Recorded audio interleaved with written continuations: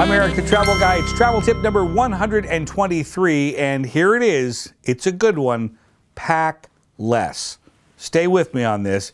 At the onset of your big vacation you've been planning for and saving for, lay out all the clothes on the bed that you want to bring with you and then cut everything in half, and that includes shoes. Chances are you're not going to wear all those clothes anyway, and furthermore, you'll be decreasing your carbon footprint. You might even save money in bag fees. So, once again, pack half what you're planning. You will thank me on your way home.